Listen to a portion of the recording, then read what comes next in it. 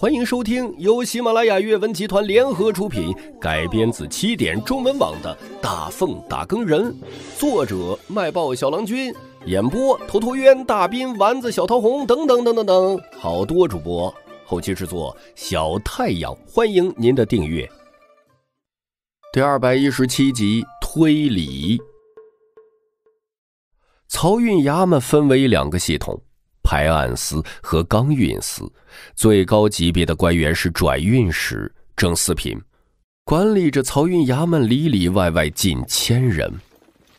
漕运是朝廷所有衙门中最有油水的。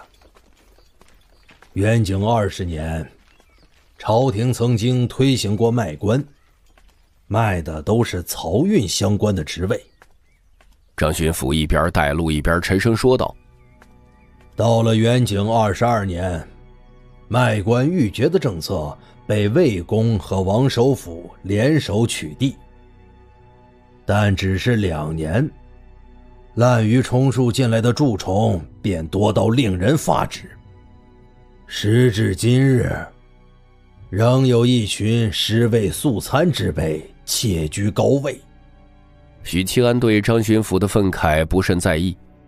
反而从他的话中提取出了一些耐人寻味的点，需要魏渊和王首府两个死敌联手压制那个卖官鬻爵的人是谁呢？毫无疑问是元景帝。史书上卖官鬻爵的皇帝不少，元景帝不是个例。这些皇帝都有一个共同点：花钱如流水。而且呢，史书上对这类皇帝的评价都不会太好，至少对这种行为抱着抨击的态度。禹州漕运衙门到了，衙役见一群人马来势汹汹，为首的是穿飞袍的大官以及胸口绣金罗的大更人，连问询都没有，狂奔着冲进衙门禀报。过了几分钟。禹州漕运衙门的转运使正四品大员步履匆匆的亲自出门迎接。这位转运使年过五旬，胡子花白，相貌普通，眉心有一颗黑痣，让他平平无奇的外表多了几分特殊。本官张行英，奉旨前往云州查案。这是内阁的文书。张巡抚取出了一本薄薄的册子，递了过去。原来是巡抚大人，失敬失敬，里边请。转运使看完文书后，恭敬的递还，然后侧着身做出请的手势。一行人进了衙门，转运使领着张巡抚来到衙门大厅，入座看茶后，转运使笑道：“哈哈，巡抚大人舟车劳顿，可是打算在禹州休息数日啊？”他不动声色的观察着这位京城来的巡抚，只觉得对方是个不苟言笑的无趣之辈，见面至今不曾露过笑脸。京城来的大人都这般倨傲吗？这位转运使还不知道事情的严重性啊！张巡抚摆摆手：“本官是否在此留宿，只看案情进度如何。”呃，此言怎讲？转运使愕然，张巡抚望向大厅外，朗声道：“带上来！”连同络腮胡汉子方鹤在内，六十二名黄旗帮的成员被带了上来。他们身体带着或轻或重的伤，神色萎靡。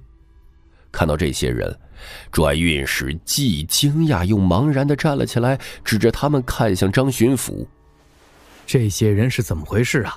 为何穿着我漕运衙门的差服啊？这就是本官拜访转运使大人的原因。当下，张巡抚将事情经过详细的告知转运使，后者听完已是面无血色，一屁股跌回座椅。这可如何是好？如何是好啊？哼，这养气功夫也太差了吧！跟我在京城打过交道的官员相比，这位转运使简直就是个青铜啊！许七安一边心里吐槽，一边观察着转运使的神色、细微动作。张巡抚沉声说道：“转运使大人，本官问你，此案，你是否知情？转运使呢，急忙摇头，努力辩解：“呃，本官并不知情啊，巡抚大人。”张巡抚没有搭理，扭头看向了人群中的白衣术士。几位白衣术士微微颔首，示意没有说谎。沉吟了一下，张巡抚说道：“那刚运使是否在衙门内？”转运使这才将注意力转移到罪魁祸首身上，愤怒于自己麾下竟出了一位二五仔，沉声说道：“刚运使严凯今日休沐，不在衙门，本官立刻带巡抚大人去捉拿此僚。”刚运使严凯府外，张巡抚挥了挥手，让虎贲卫散开，包围严府。同来的漕运衙门转运使杨慕华也带了二十名捕手，待虎贲卫散开后，姜律忠直接带人破门而入，将府上所有家丁护卫通通按倒。虎贲卫、漕运衙门的捕手、打更人三股人马席卷整个严府，迅如雷霆，不给对方反应的机会。大人，人在书房。漕运衙门的捕手率先发现严凯。当许七安随同僚们赶到书房时，晚了一步。他看见喷溅了满地的鲜血，浓稠如块。刚运使严凯无力地躺在大椅上，脑袋歪斜，脖颈处有一道深深的伤口，右手边的地面落着一柄匕首。这个结果，显然出乎了杨转运使和张巡抚的预料。愕然之余，愤怒充盈了胸腔。不过，两人的怒火并不同。转运使的怒火更接近无能狂怒。刚运使一死，所有的目光就聚焦在了自己的身上，他肯定是被最先怀疑的对象。张巡抚则是一种煮熟鸭子飞走的愤怒。人太多了，容易破坏现场，而且不能保证在场的没有凶手。很可能会破坏关键线索。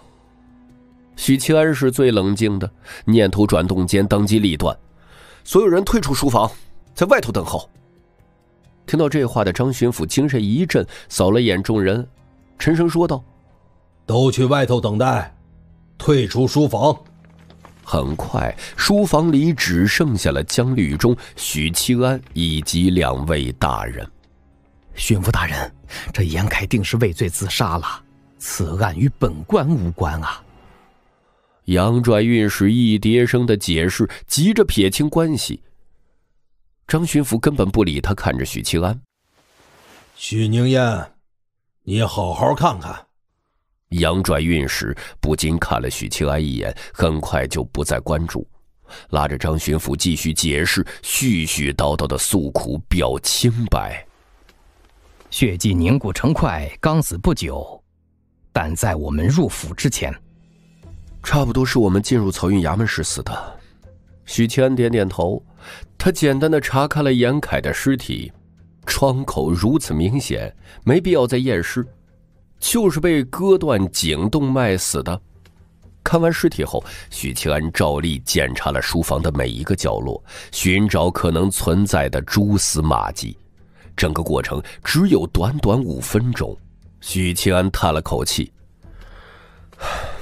巡抚大人，他是被杀害的，不是畏罪自杀。”张巡抚颔首：“何以见得？”喋喋不休的转运使停止了辩解，扭过头来：“颈动脉被割断的话，人会因为缺氧，因为求生的本能而挣扎，不会做成这样。